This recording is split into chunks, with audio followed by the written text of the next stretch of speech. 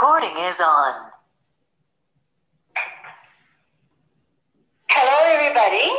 My name is Dr. Jaya Shrivat, and I'm one of the Hindu chaplains in the University of Calgary. I'm also a senator with the University of Calgary, and I did the Hindu chaplaincy at the university three years ago. That's my, and I'm a life member with Hindu Society of Calgary and been very active and actively involved in the society for a long time. That's my background about Hinduism. Uh, my personal professional background is I have two graduate degrees, one in clinical biochemistry and one in classical music of India. And I was a cancer researcher for 27 years in University of Calgary's research and development. And later on, when I finished my PhD in classical music, I've been visiting many Canadian, American, and European universities teaching classical music of India in the uh, at various levels in the undergrad uh, levels. And it has been a wonderful journey so far. And I'm really enjoying having this discussion with um, all of you. Uh, so let's start. Great. Well, thank you, Jashri. Now, I'll get uh, Dr. Tony Barber to introduce himself here. Yes, uh, thank you. Um, I'm uh, Dr. A.W. Barber. Um, I uh, am also a Buddhist priest, uh, was ordained in Japan.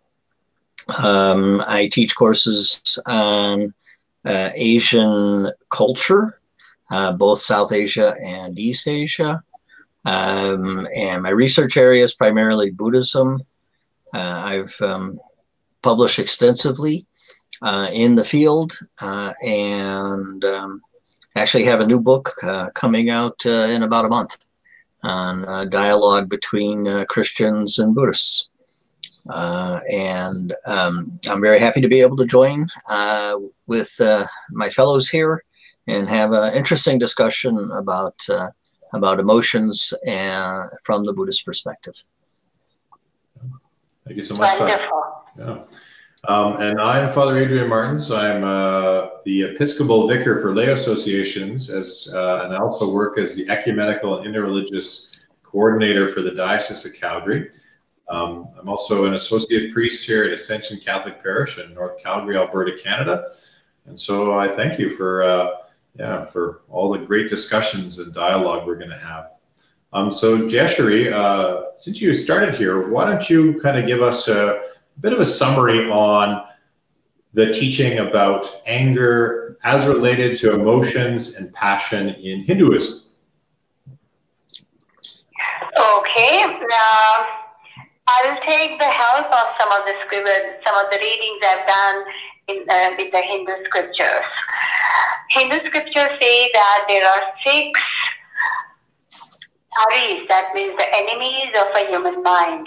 And they are Kama, Krodha, Lobha, Moha, Mada, Matsara. Kama is the, the excessive sexual desire. Krodha is anger. Lobha is greed. Moha is excessive temptation. Mada is arrogance and eh, excessive egoism. Matsar is jealousy and envy. Out of this, the way it works out, Krodha, that is anger, is one of the mm, six enemies which really destroys a human behavior to its lowest level. It brings it brings a human being to its lowest level. And therefore a person who cannot control the anger, a person who who reacts while the person is in a very angry mood, the logic, the rationale of the person is lost completely. And that's why it could destruct, destroy, and completely devastated the person himself and all the people around the person. So that's how the anger is. Now what happens is when we think of emotion and passion, emotion is very much it's a it's something like a sensation It's a strong, crucial sensation. Emotion is to feel. It has a very powerful effect on human behavior. But how does it affect? Well, there are two primary causes, which is one is love, the other one is fear. And I think all the emotions are, I would believe, the variables of these two, love and fear. So when you are, when you, uh, the maternal love or when or when you are, when you look at your community or society, these are all coming out of the love part of the strong emotion. Whereas fear hating somebody, wanting to destroy somebody, basically anger related activities, they stem from this fear concept of the of the emotion. When we talk of emotions, many times we get sort of misled or we get a little bit confused between emotion and passion. But actually a powerful state of emotion or a very strong feeling, strong sensation of an emotion is passion. A deep, deep feeling for a person, of a person, is actually the passion. And you know what? In my personal experience, as well as many of the experiences I have read about and I have seen some people, passion has worked more as a driving force to strive for some goal. For example, take my own example.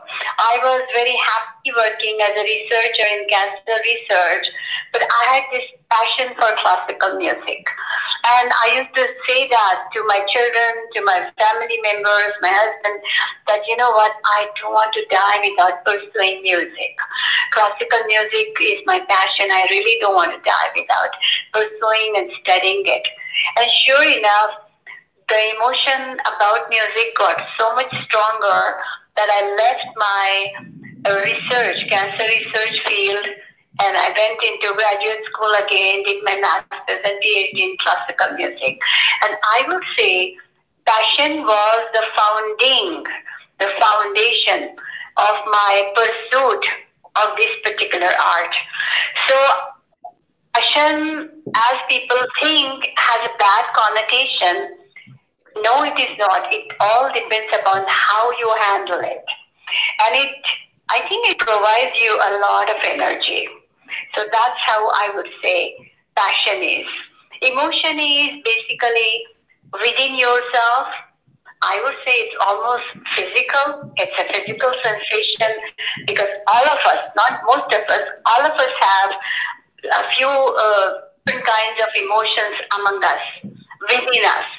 So they are very much a part of our body, if I can go one step and say that.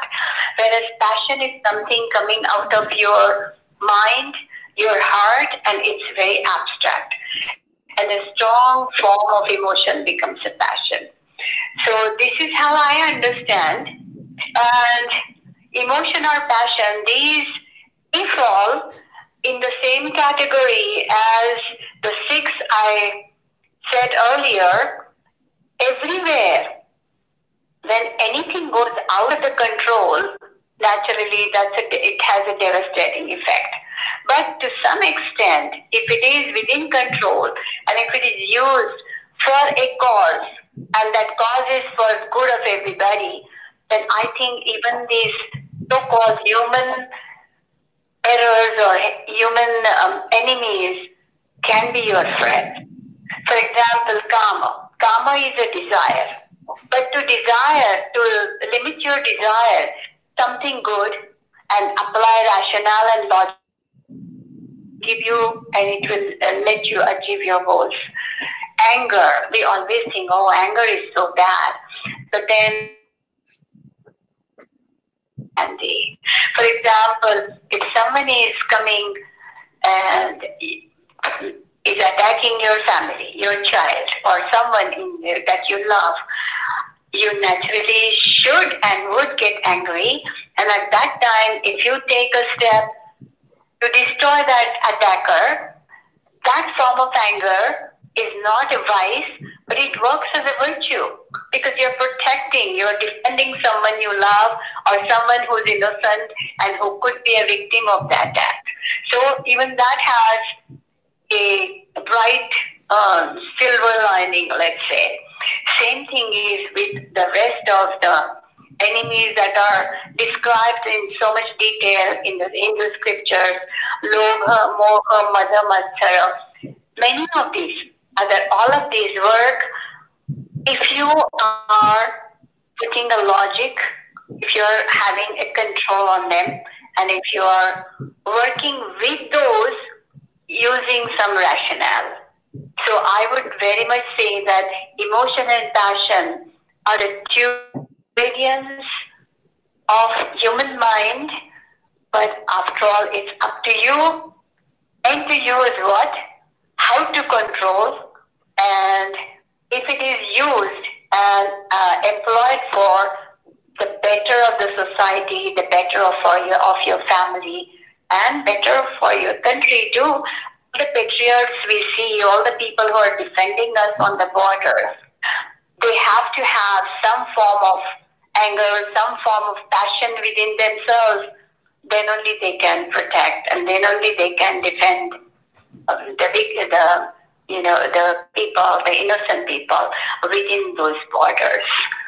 So uh, I can quote uh, Spree, but I think I will stop here and listen to uh, you all first before I uh, narrate a small story uh, of uh, Mahabharata. well, thank you so much, Jayashri. Uh, now, Dr. Tony Barber for Buddhism's view on this. Well, thank you, both of you. Um, Buddhism uh, looks uh, at, uh, at, these things uh, in a variety of, of different ways, and how uh, the emotions are classified uh, differs from, say, one Buddhist text to to another. Um, although they deal with all the same emotions, but they kind of just put them into different categories according to, you know, whichever author you you prefer to to look at. Um, I'm going to base myself on uh, the uh, maybe the most authoritative text uh, across Buddhism called uh, the Abhidharmakosha. Uh, it was written somewhere around uh, the fourth to fifth century. and it's very detailed. It's um, it's very um, well thought of, and um, traditionally in, in many Buddhist countries, if you were training to be a um, um, an educated uh, Buddhist uh, priest, um, somewhere at the beginning of your education, you would have started with this text. So uh, probably right after you learned all the rules for being a monk, you would learn, you know, some Abhidharma out of uh, this out of this book. Um, and because, of course, Buddhism uh, was born in uh, India, uh, just like Hinduism, so much of the technical language uh, is shared. Uh, when uh, my esteemed colleague began her um, little dissertation, um, all the Sanskrit terms that she used are very familiar because we use the, pretty much the same the same terms. Um, for, uh, for from the Abhidharmakosha, they talk about a number of um, of emotions. Um, so we would have uh, attachment and anger, which I'll get back to. Um, maybe delusion or confusion, something along that lines, right? Um, uh, moha, um, I think is the, uh, the proper term there. Uh, and then, uh, of course, uh, pride and doubt. And in Buddhism, uh, wrong views uh, is also considered to be a passion. Um, so, uh, before I get exactly into the notion of anger, um, I wanted to speak kind of just generally about all of these um, these emotions from the Buddhist per perspective. Um, these are um, all of these are thoughts or maybe you know thought systems um, but the difference between these thoughts and other thoughts that we have is that these um, come uh, are held very closely by our ego or our self. Um, and so they're much more direct, and that's why we often feel them uh, even physically, right? So if we take uh, today's topic, anger, um, normally when you're angry, uh, like your uh, nose will start to flare out and your breathing rapid and uh, maybe your your face will change color uh, and so on right? Uh, so there's because this thought is so close to the ego uh, that it has even physical effects where you know if like we're thinking about particle physics it probably doesn't have the same physical effect on on us so so, but it is, it's just thought. And uh, because it's a thought, it can be dealt with, according to Buddhism, in the same way that we deal with, with many other, many other thoughts, right? Uh, anger uh, in, if we look at the Theravada school, so that's the form of Buddhism you would find in, say, Sri Lanka uh, or uh, Thailand today, although in ancient times it was, uh, of course, all across uh, India and beyond. Um, if we look at um, in in uh, that system, uh, it's treated as uh, as, of course, a negative emotion, uh, something that needs to be generally controlled. Um, but not much different in its kind of generic level to desire or one of the other um, one of the other emotions. In the Mahayana form of Buddhism, which is what you find today in uh, Nepal, Tibet, China, Korea, Japan, Vietnam, uh, Mongolia, uh, and elsewhere, um, it takes on a very different significance. And that's because in the Mahayana, uh, it has kind of two cornerstones uh, to its tradition.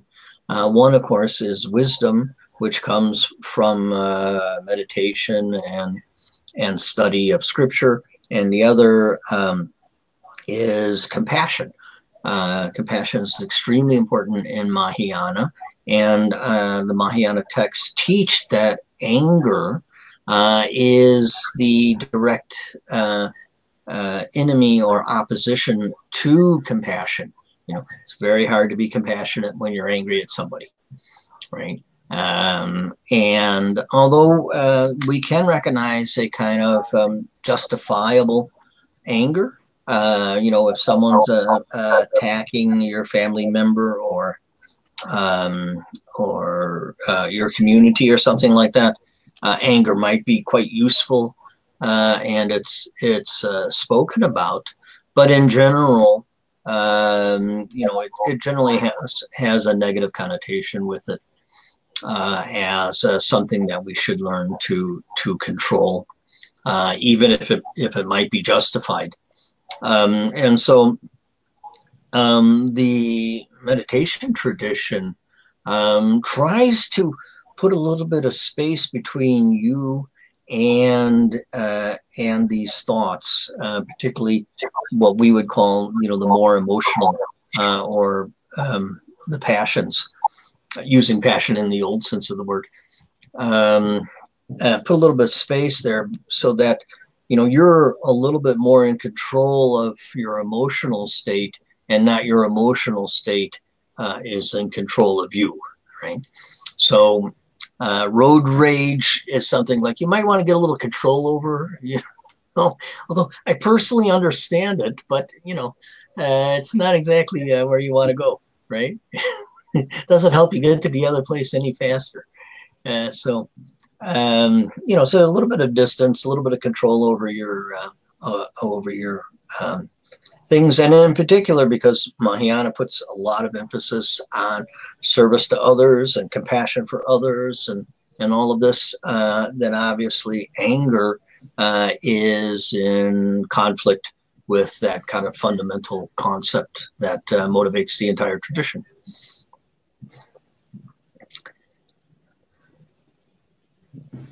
Thanks so much, uh, Tony. There, that's uh, Dr. Barber. Um, so to just go over kind of quickly here, uh, a little bit uh, similar to both of your talks here around anger, is uh, there's a different different ways of looking at it in the Christian tradition. Um, primarily, though, just looking at it from the Western point of view, that there's a tradition within Western Catholicism of always putting anger under temperance. Now, temperance is this idea that we need to have the law of moderation in all things. So, if you go down to sit and have a turkey dinner, uh, you're going to be, I mean, even though it's sort of a feast day, uh, maybe it's Thanksgiving or something like that, you still have to sort of watch your portions because, of course, food has a purpose, and the end purpose of food is sustenance, of course, and joy that it brings you. And so, anger, in some senses, is an imbalance of temperance, of, of not doing the right thing or the wisest thing at the right time for the right purpose. And so you see this in the Christian tradition, even in the law of Moses, right at the beginning of the Bible, where the Ten Commandments come down to Moses. And it's, of course, not just the Ten Commandments, but there is very sort of strict dietary laws and other things that Christians would look at this as sort of already kind of teaching the natural law of temperance. And so you also see here too this uh, certain laws that were sort of steering people away to be more patient and that, that anger is somewhat of an imbalance. But it's interesting though, because you get also at the same time though, this idea that, uh, that anger has its place. So Jesus, when he's in the temple he sees everyone sort of trying to, to sell things and to use the temple as kind of a means to get money out of poor people and other things that, I mean, he, he's outraged. First of all, that they've sort of desecrated a holy place. And secondly, they're, they've turned God's temple into this sort of this great ground of selling things. So he overthrows table, he makes a, a whip of cords. And at the same time, though, Jesus is also speaking about anger. He says, if, uh, if anyone's angry with their brother or sister and tries to bring a gift to the altar uh, of the temple, I mean, they should leave their gift at the altar and then go and be reconciled with their brother or sister and then come back and offer. This idea that you can't even sort of have communion with God unless you've sort of forgiven that anger against the other person. And so you get this idea within the New Testament. St. Paul says, be angry, but sin not. Now, of course, he's not kind of encouraging anger, but there is sometimes a place for it. Um, just like kind of temperance is the right balance of things, there's sometimes a time for anger. Um, and so we also get uh, different things in the Christian tradition. For example, in the, uh, the Proverbs, it says, a gentle answer turns away wrath, but a harsh word stirs up anger. So again, there's sort of very rare occasions where it would be sort of justified and useful. And indeed, we want to be in control of ourselves and have uh, sort of an understanding of who we are and what we should do at the right time. But at the same time, though, it's sometimes useful uh, if the end is to aim towards the good. And so how do we actually sort of make this practical within the Western Catholic tradition? Of course, there's different ways of looking at anger. There's the Eastern tradition, which is a little bit different, but the Western tradition generally will always frame it under temperance. The problem, of course, uh, of all sin, at least within the Western tradition of Catholicism, is pride or ego. And so, if we're sort of focused on ourselves and what we want, this will lead to a lack of temperance. And so, just to give the example again of, of sort of overindulging in foods at a table. Um, again, we'll sort of we'll go up to the turkey and we'll kind of take off, off three strips of, of, of, this. And, and one of the things also the church fathers said is that it's very hard for a person who's focused on pride or ego to fast. It's a very hard thing to do to sort of avoid certain foods. And so they recommend fasting as a way actually out, of anger and out of lust too as well. These are all connected according to them. And so it's this lack of temperance that will actually lead to a wrong use of anger. So our focus should be how do we sort of restore the right view of temperance, of using the right things at the right time in the right way. And that will sort of be our way out of uh, uh, sort of unrational or irrational anger. Okay. So maybe if we can go on to the questions here, and then whoever would like to respond first. Um,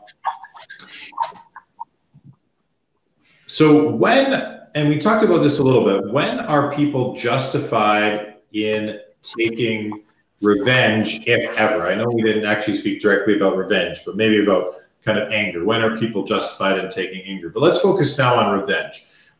Is is anyone is there ever a time within your religions that anyone should ever take revenge? Revenge. Uh, can I go? Yeah, go ahead. Yeah. Thanks, Jayashree. Yeah. Reve- revenge by itself has a very, very bad and evilish connotation. But if you think that even the revenge, even a bad thing of re- like revenge has two sides, uh, one would look at it uh, in those two different lights. One is if you apply anger to revenge, definitely it is it is um, it is very much an evilish act and it becomes a very bad vice a person to take a revenge. Avenging anyone is not a good thing, for sure. But but at the same time, uh, let's take the scenario where we are being uh, governed by really very corrupt politicians, let's say. And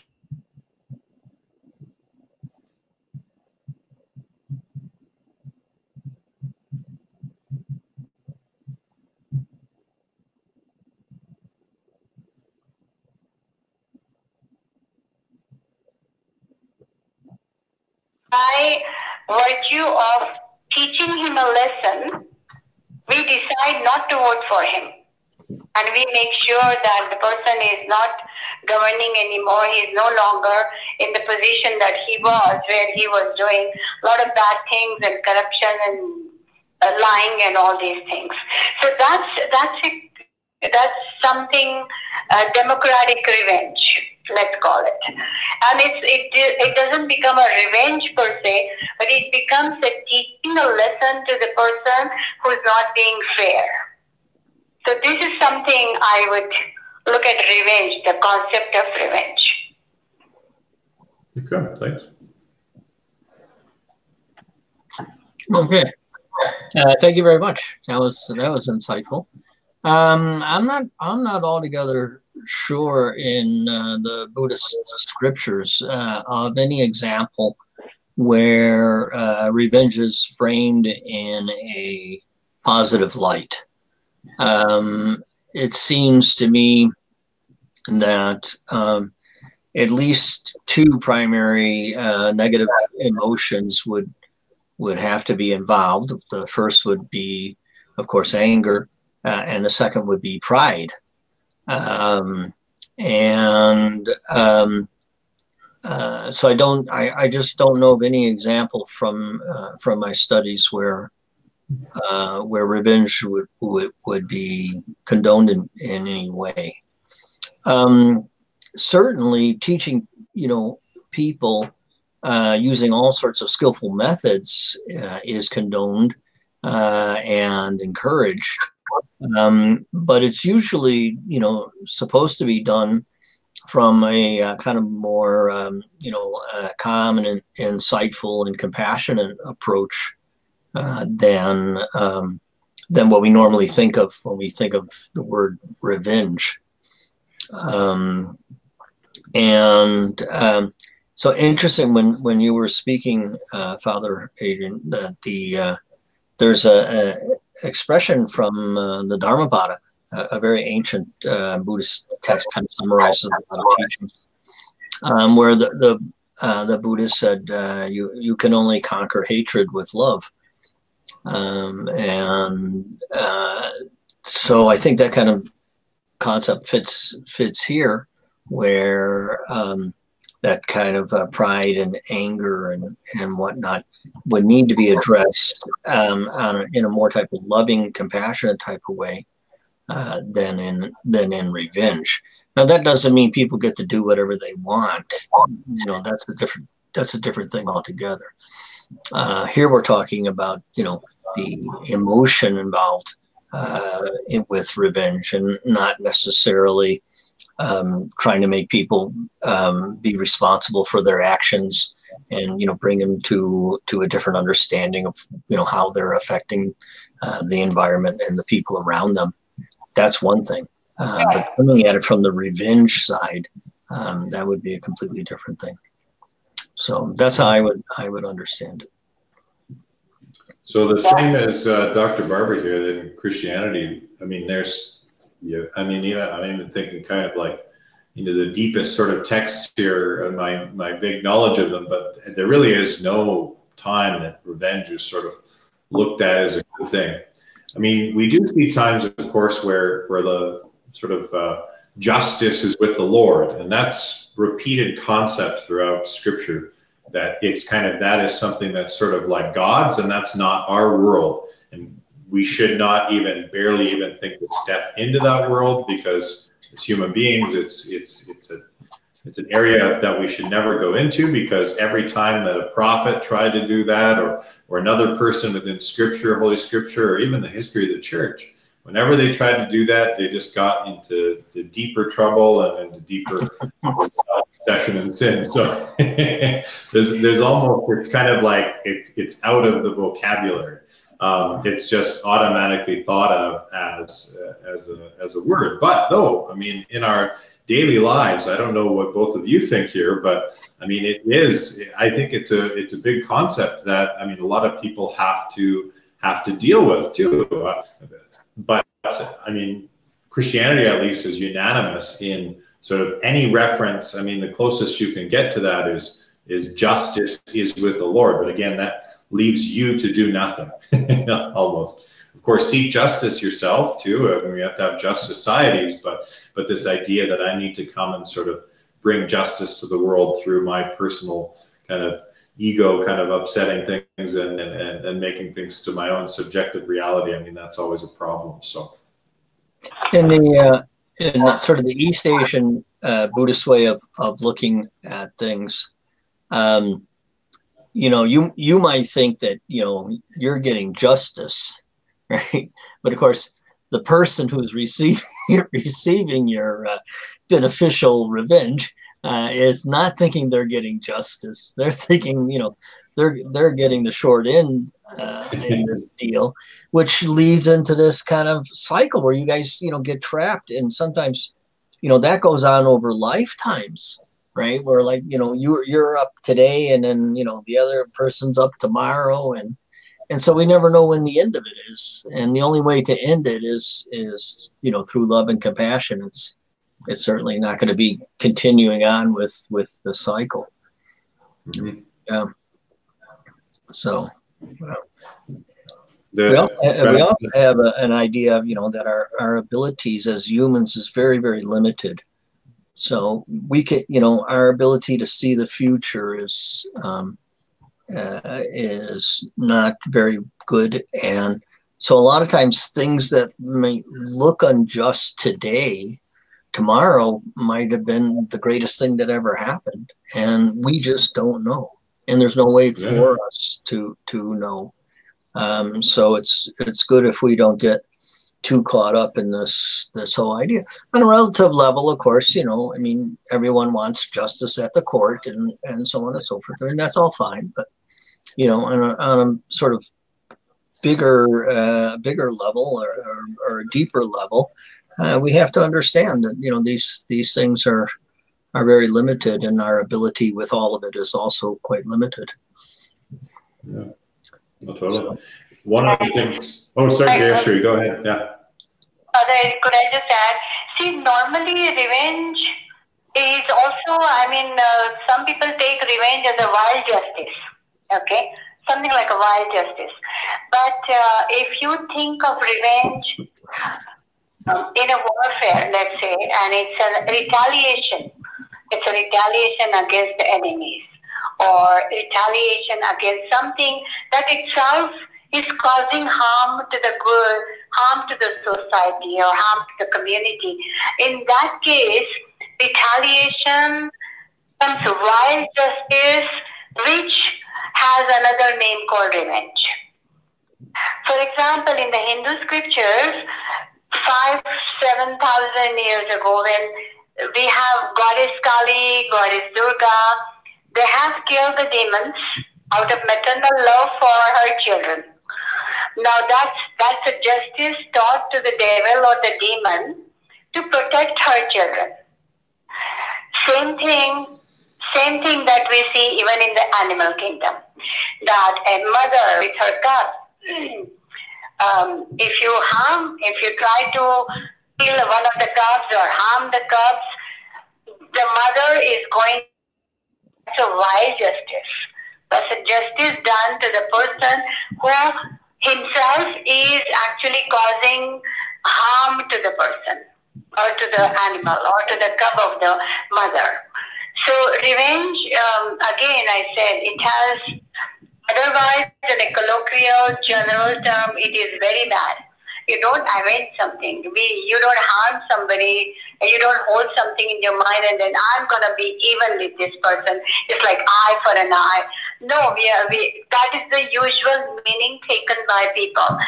When it is a justice done in a wild justice, let's say, done to retaliate something or someone who has been not good, who has been hurtful, who has been harmful to the good of the people, to the entire society or community, that revenge takes a different form. It becomes a justice. It is just. It certainly does not remain that uh, that typical colloquial general understanding of the word revenge. That's all I want to say. No, that's good thing. And actually, um, one of the things at least kind of putting the, the Christian interpretation of, because that is, it's, I mean, it's in different places, but this idea of an eye for an eye, a tooth for a tooth. maybe this is kind of getting onto something. It's is that where you see that in the Christian scriptures and also in the Jewish scriptures, it's in the context of a, of a legal setting. So it's not sort of like a person kind of thinking like, oh, this person hurt me and then I'm going to go take their eye because they took my eye. No, I mean, you have to take that person to court. You have to have two witnesses uh, that sort of saw that thing happening, which uh, I mean, some people might kind of argue that I mean, the the legal system that's uh, asked for in the law of Moses earlier on in the, in the Old Testament, what we would call, um, it's it, doesn't allow, allow for a lot of management of justice, but that's the the framework of an eye for an eye, tooth for tooth. It's not just like sort of I have something against my neighbor. You have to bring that neighbor to court. You have to have witnesses. You have to have legal proceedings, and then only after that point can actually sort of that fellow that charge be made. Um, and even within the Christian tradition, that has been kind of uh, we said that uh, the law has been fulfilled in the sense that the law of love will usurp what had happened before uh, in the old covenant or the old kind of promise and law of God. So that's different. But maybe let's uh, move into the next question here. Uh, how is anger related to unforgiveness? If anyone wants to go with that. Anger related to forgiveness. Uh, unforgiveness or not forgiving. Forgiveness. Unforgiveness. Mm. Maybe it is a better word. I, I, don't know if I got the right form there for me. not forgiving. anger and unforgiveness in a way are absolutely like they are as different as day and night actually in a way. But i will i will uh, uh, tony you go first and um, let me think over it a little bit. Okay. Okay. Thank you thank you. Um, actually it, it seems to me that um, anger um, uh, is kind of a foundation for unforgiveness in that um, you holding on to that anger uh, with regard to a particular you know type of incident or or whatever from a different person uh, is also a way for you to hold on to that person but hold on to that person in negative light. Instead of you know letting it go and saying okay you know uh, i'll forgive you.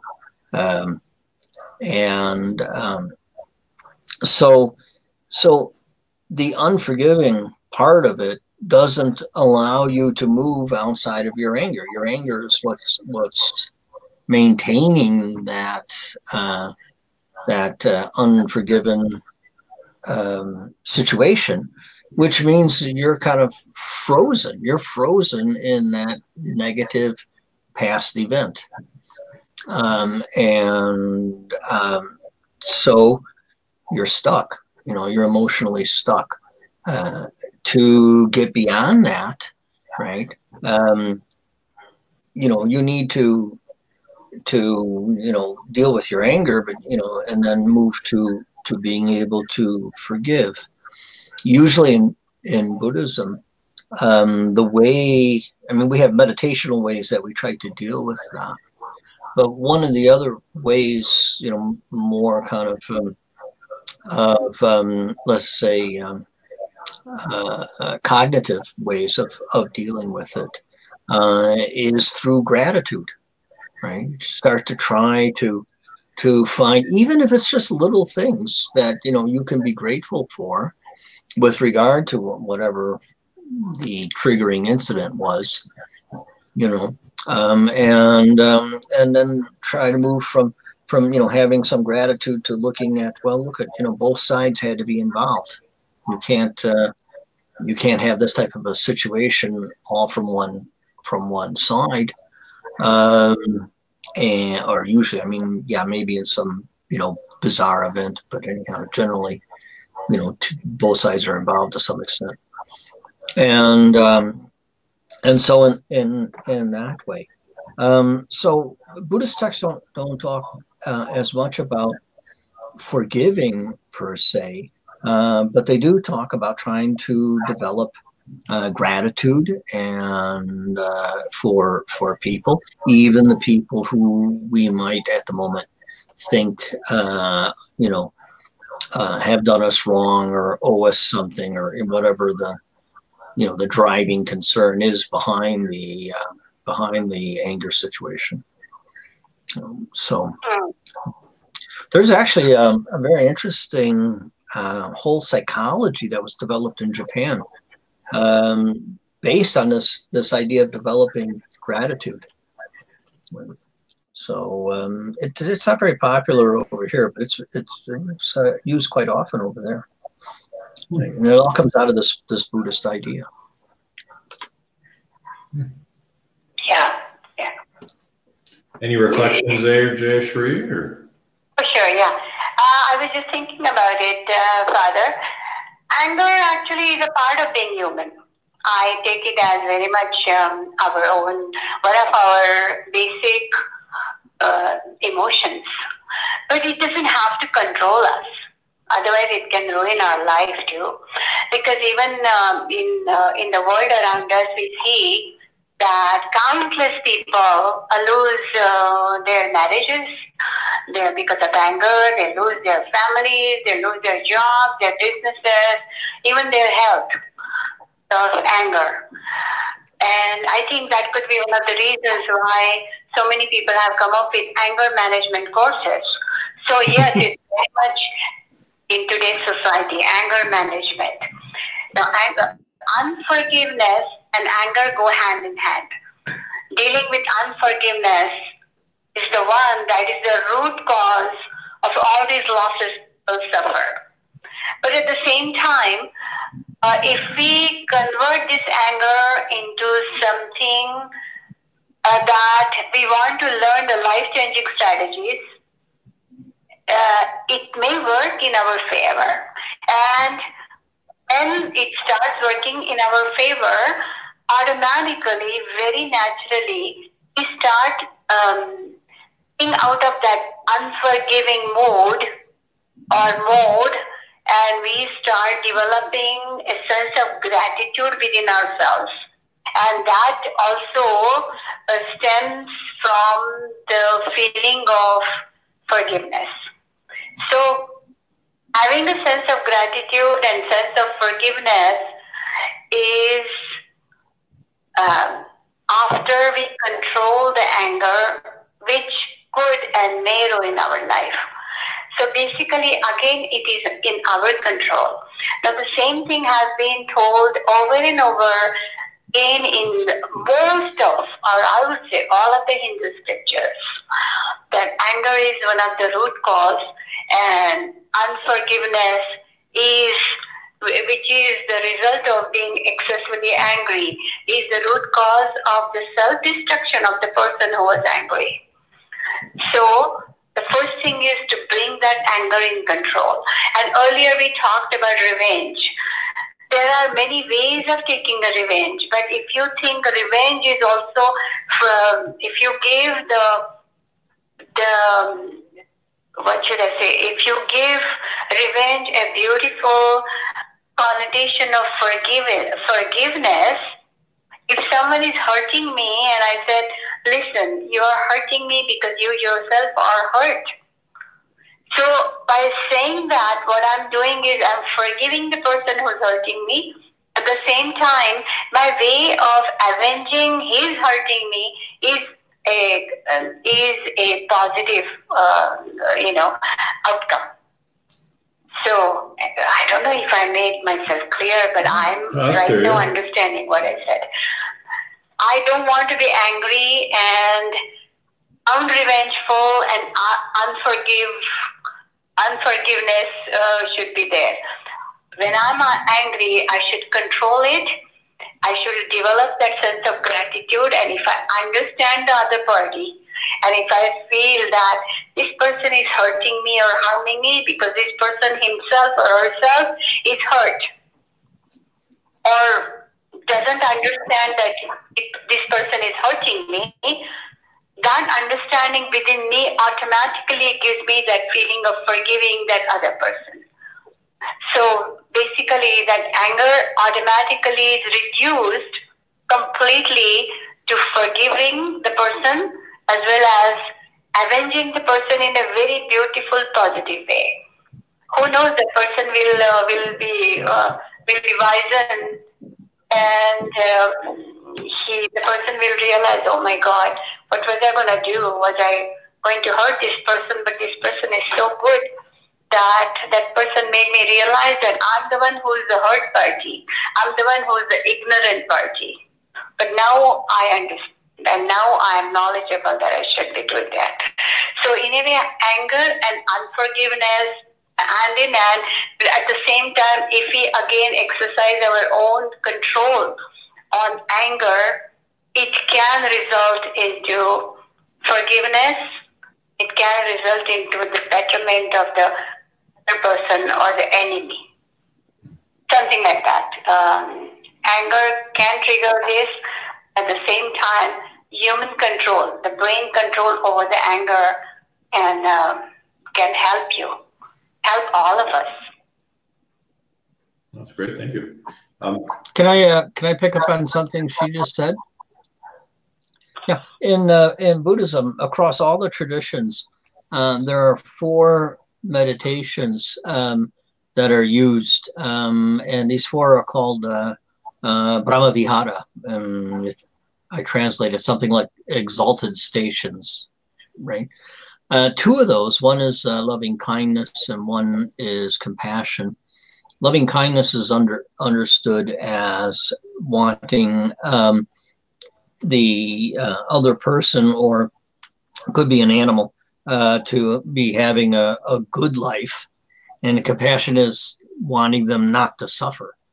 And in these meditations, which lead to very, very deep states of mind. Um, but in these meditations, you move from, you know, people who you respect and and um, uh, you know think are are worthy, honorable people to, you know, people who you you know would consider your enemy or your, you know, you you don't respect. And this is the whole purpose, right? Uh, so you you try to develop the sentiment that you want even them to have a good life, even them to not suffer, because you recognize, as as she was saying, they're hurting too, right? They yes, in the present situation might be very terrible, and the, the two of you had some incident or whatever, but they're still suffering. They're still hurting, right? And so we have these meditations uh, that are, you know, supposed to be leading you to to this uh, kind of forgiven place, although they don't use that word particularly. But um, that's the idea, right? Oh, that's great. It's Tony, Tony, sorry, uh, Father. Oh, Tony, I like your idea about the compassion. Your idea in the sense you what you talked about compassion. Actually, by releasing anger or resentment or whatever we have, I think once a person starts uh, feeling empathy and compassion, and sometimes it's possible that you actually develop affection for the person who wronged you. Yes. So, which, which is very good. This is an out, excellent outcome. The person controls the anger and starts feeling compassionate towards the other person. So basically, forgiving that person is uh, is uh, excellent for both. You know, the one who has hurt you or wronged you, and the person who gets angry but controls it and develops compassion. So the, it's a, it's a win-win situation for both. Yes. It's also great for the karma. uh, I like kind of both of your reflections here in terms of, uh, I think in some ways, it's interesting because within the Christian tradition, for example, you have this uh, phrase from scripture, and you might have heard at a wedding. It's like a typical kind of wedding reading depict that love is patient, love is kind, um, but there's one part that says that love always hopes.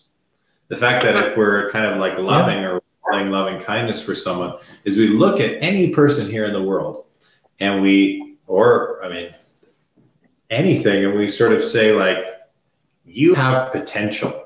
And that I think is the beginning of, uh, I mean, developing a love um, for that person. I mean, we we would talk about we would frame it in terms of seeing the image of God in that person.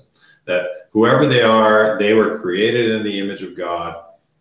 And so even though they've done these terrible things to me or to other people, it's love always hopes. Because I mean, how can we not sort of love a person unless we see the good in that person? And so, of course, it's not sort of like deceiving ourselves. We're not sort of going to be like, give, I mean, we pick up the phone and someone from Canada Revenue Agency, quote unquote, is calling us and we, we hope that they have the best kind of uh, intentions in mind, but I'm sure there's some good in that person trying to scam us on the other line. Maybe maybe yes. a final question for us here, uh, just uh, for us to wrap up. We'll wrap up in a few minutes here, but uh, actually, you know what? Instead of having a question, why don't we just uh, kind of have a little bit of time just to, yeah, any final reflections on this or how we sort of apply this daily to our lives? And I mean, our viewers have already seen. Uh, the many sort of areas where actually, I mean, there's a lot of links that, I mean, I think all of us were not necessarily even aware of, and some deeper perspectives that we've all went in who went into through this discussion. Um, could I go now? Oh yeah, of course, Jayshree. Yeah, thanks. Yeah, I think um, Father Adrian and Tony, uh, the first person that I would forgive is myself, because at any given moment I think I'm doing the best I can. So, best is to forgive myself because many times anger is a helpful emotion, yes, but many times I could be doing wrong to others in uh, being angry. At the same time, when I'm ready and conscious about it, I want to be kind to myself. And thereby I will control or rather manage my anger. When I'm ready to forgive myself, that will also um, trigger forgiving others. Because just as I'm flawed and I'm imperfect, so are so is everyone else. So why should we hold on to someone's mistake and get angry when we know that we are also flawed and equally imperfect as others are. So for, by forgiving myself, I'm forgiving, or by learning to forgive myself, I'm also forgiving, learning to forgive others. And when I'm doing this, uh, like Tony spoke about compassion and you about love earlier, directing or redirect my thoughts towards these beautiful emotions and sentiments of a human mind, I would say that um, challenging my negative thoughts and using these compassion and love would be wonderful to develop that positive thinking within myself and get rid of the bitterness, it, which could cloud my own uh, rationale and my own logic, right? So I would I would redirect my thoughts, and uh, by redirecting my thoughts, perspective would change also. My perspective would change uh, to looking at many uh, flaws of others uh, see, we are very um, quick in finding flaws in other people. But uh, we forget that we are equally human like they are, and rather, they are also equally human like we are, and they are also, you know, entitled to err just as we are. But we forget our errors, we forget our flaws, and we always point out their flaws. So, you know, these are the things I would say that anger is causing. And um, instead of just depending on the scriptures and all that, let's learn from them. Let's imbibe some of the beautiful concepts that are narrated in those scriptures. But I want to live in the present. Earlier, I gave an example of the democratic anger or democratic revenge. It's very much applicable in today's world. If you find that uh, some people are being very unjust and unkind to the deserving people, then we, we have to, we have a way to remove that person, have to exercise and employ that way move that person. And that is not revenge. So anger, revenge, unforgiveness, all these terms which are generally regarded as very strong negative terms, if we look at it with a little bit different lens, rather, um, we may be able to employ the same concepts, a little bit of rationale and logic to our own benefit and for the benefit of the society.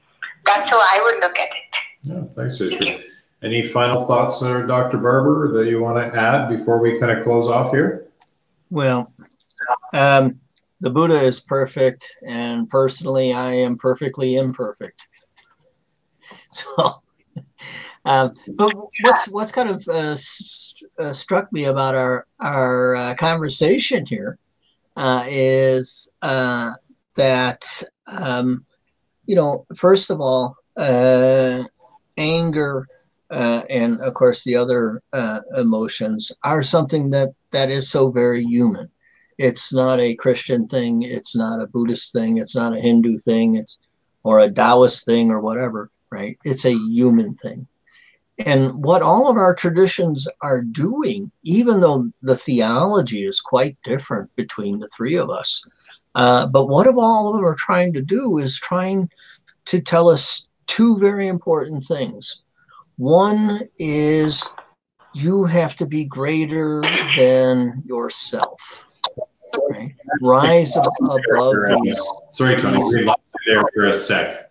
Okay. Do you mind repeating that last about 30 seconds ago, if that's okay, because it was just a, such a good point. So. okay, thank you very much. I'm, I'm humbled. Uh, what I was trying to say was is that even uh, though the the sort of theological stance between Catholics and and Hindus and Buddhists and whatnot is quite different. And the way that we understand the human situation um, in terms of um, sort of the transcendental or the greater picture of things is also quite different. But what all, all of these traditions are doing is they're saying two things that are that are very much the same. And that that is is that the human condition when uh, experiencing these negative emotions, uh, and of which anger is one of the primary ones, You know, we have to rise above this. We have to be greater than ourselves. And the way that we do this is through some sort of discipline. Now, it might be meditational, it might be prayer, it might be, uh, you know, getting a different understanding, you know, different perspective on things. Uh, it might be by cultivating, uh, you know, uh, different uh, attitudes through our devotions or, or through our practices and whatnot. But they're all saying the same thing. We have to be more than than our our kind of you know base self, and the way to get there is through some sort of spiritual discipline. And so, in a lot of ways, um, it seems to me this, this is a, very kind of you know productive conversation because it's pointing to something that is very much human, right, and not necessarily you know for this religion or for for Eastern people or for Western people or or all these kind of categories that we use to to you know define and distinguish things. Um, but at the base of it all, we're basically the same people. right.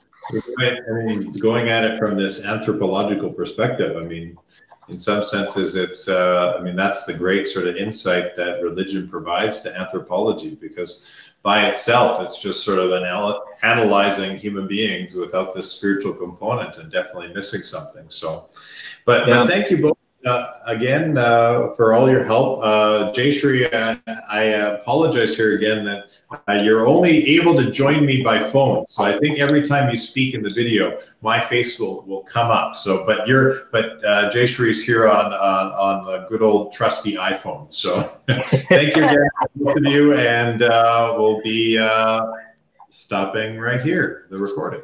All right. It was a pleasure. Tony, thank you. Father Adrian, thank you. And you both have a wonderful evening. Same to you. Okay. I know. Bye bye. Thank you. Ciao.